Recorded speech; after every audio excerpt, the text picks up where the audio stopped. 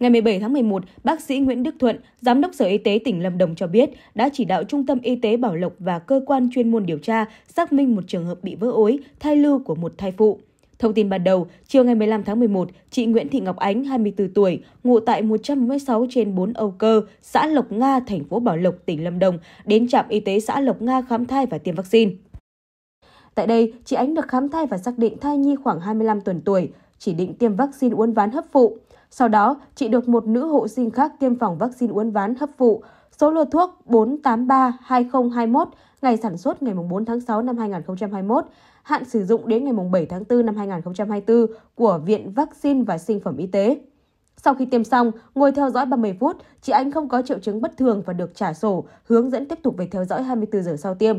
Nếu thấy bất thường, kịp thời báo trạm y tế để có hướng xử trí. Đến khoảng 14 giờ 45 phút, chị Ánh rời trạm y tế về nhà. Tuy nhiên, khi về đến nhà thì bị đau đầu và vỡ ối, được người nhà chuyển đến Bệnh viện 2 Lâm Đồng cấp cứu.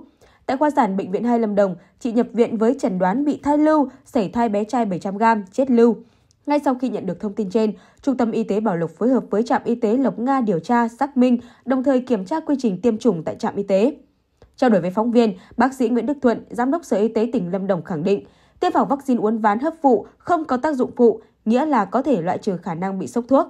Cơ quan đã cử cán bộ, bác sĩ chuyên môn thăm hỏi, liên hệ với gia đình chị Ánh, đồng thời giải thích cho chị Ánh hiểu rõ về sự cố không mong muốn nói trên.